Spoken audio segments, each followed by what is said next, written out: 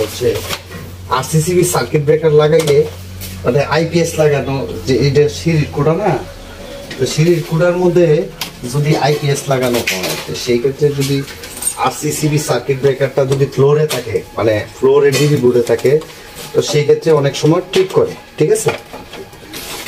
তো সিঁড়ির কোটার মধ্যে আপনার আইপিএস লাগানো যায় যদি এইরকম কেসি গেট থাকে, তো এই জায়গাটা যদি সেফ থাকে তাহলে আইপিএস লাগানো যায়। আর সেফ না থাকলে তো আইপিএস লাগাইলে ব্যাটারি নিবো সুরে আইপিএস নিবো সুরে। তো এখন বিষয় হচ্ছে কি, ওই সিঁড়ির কোটায় আইপিএস লাগাইয়া ওই ফ্লোরের যে ইউনিটের যে ডিবি বোর্ড আছে, সেইখানে যদি আবার এই আরসিসিবিটা লাগানো হয়, তাহলে এটা ট্রিপ করে বা কেউ অনেকেই চালাইতে পারেন না, যার কারণে আরসিসিবি এই সার্কিট ব্রেকারটা এই অনেকে চালান না। তো বিষয়টা আপনাদেরকে বলে দেই, এখন এই যে আরসিসিবির হচ্ছে ইনসাইড ও আউটসাইড এটাকে চিনতে হবে। কীভাবে চিনবেন এটা এ দেখেন। এই যে এখানে লেখা আছে এক। এই যে যে এক লেখা আছে। তো আর কোনো কিছুই লেখা নাই। এই যে নিচে দেখো, লেখা নাই, কোনো কিছু লেখা নাই। তো এই একটা ধরতে হবে ইন আর এই ইনের সাইডে যে এন লেখা আছে, এই যে এনটা, এটা হচ্ছে নিউট্রালটা। আর এই যে দুই আছে, নিচে দিয়ে ধরো। এই যে দুই আছে, এই দুই হচ্ছে আউট। আর দুইয়ের পাশে যে এন লেখা আছে, এই নিউট্রালটাও হচ্ছে আউট। এখন কথা হচ্ছে কি, তো এই যে ইন লাইন আর এই হচ্ছে আউট লাইন, কোনো ক্রমে যদি মনে করেন, এই আরসিসিবি সার্কিট ব্রেকার যে লাইনটা ইন করছে সে প্রোডাক্ট দিবে এই আউটলাইনটাকে ঠিক আছে? এই আউটলাইনটাকে প্রোডাক্ট দিবে।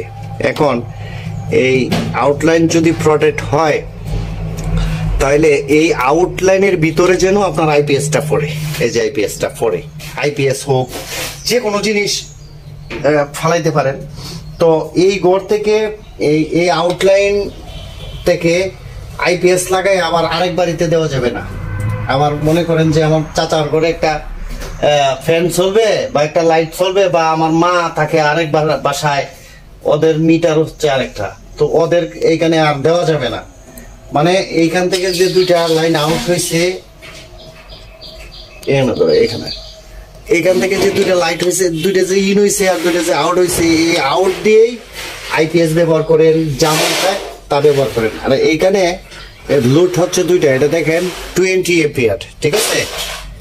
আরসিসিবি টোয়েন্টি এম্পিয়ার আরেকটা লোড আছে এখানে থার্টি মিলি এম্পিয়ার এই আরসিসিবি কেন লাগানো হয়? আরসিসিবি লাগাইলে আহ, অনাকাঙ্ক্ষিত কাঙ্ক্ষিত যে লিকেজটা লিকেজটা মানে কি? আমি এখানে তারে ধরলাম। যে কোনো একটা তারে ধরলাম তো সেই তারটার মধ্যে লিক থাকল আমার হাতে স্পর্শ করল আমি মরে গেলাম। ইলেকট্রিক শর্ট খায় মরে গেছেন মরে যাবেন। এই আরসিসিবিটা লাগাইলে আপনি ইলেকট্রিক শর্ট খায় মরতেন না। তো এখন এই যে আমরা সরাসরি ইনলাইন করলাম, এই আউটলাইন এই আউটলাইন থেকে এই সার্কিট ব্রেকার এই যে আউটলাইন থেকে, এই যে আউটলাইন এই তার দিয়ে এই যে এখানে আসছে আউটের যে সার্কিট ব্রেকার টেন এম্পিয়ার এখান থেকে আউট হয়ে একটা গেছে, এই দুইটার মধ্যে গেছে একটা।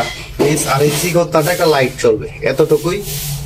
এরপরেও যারা বুঝবেন না কল করেন বা ভিডিওর যে নাম্বার থাকব zero one eight one four two four one three five four এই নাম্বারে কল করবেন, ইনশাল্লাহ জানাই দিব না, যারা নতুন টেকনিশিয়ান আছেন, যারা আমার এই হেল্পার আছেন, আর যারা আমার হেল্পার না, তারা অবশ্য কল করবেন না। তো ধন্যবাদ, আসসালামু আলাইকুম।